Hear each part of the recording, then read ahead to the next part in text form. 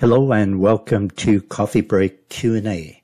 My name is Michael Meurett. Question from a listener today who writes, I have heard the Word of Faith teachers say that God created the world by faith, and He has given us that same power to create things by our words.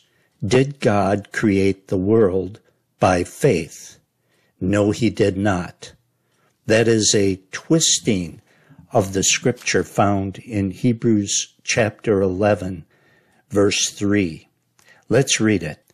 Through faith we understand that the worlds were framed by the word of God, so that things which are seen were not made of things which do appear. Now the word of faith teachers say, see, God had faith that if he spoke the word, he could create the world by his spoken word.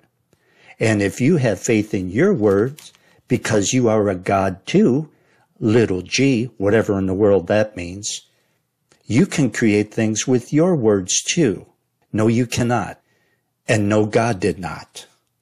God does not have faith. God is omnipotent. He is all powerful. He is all knowing. He is all wise. He knows the end from the beginning. God is God. He does not need faith. And he did not create the world by faith. That's not what verse 3 says. Notice what it says. Through faith we understand that the worlds were framed by the word of God. We understand that God spoke the world into existence, not by faith, but because he's all powerful and his word does not come back to him void. But it is by faith that we understand that he did that, you see. We were not there when God created the universe by his spoken word. But God said that he did it, and I believe it. I believe God made everything out of nothing.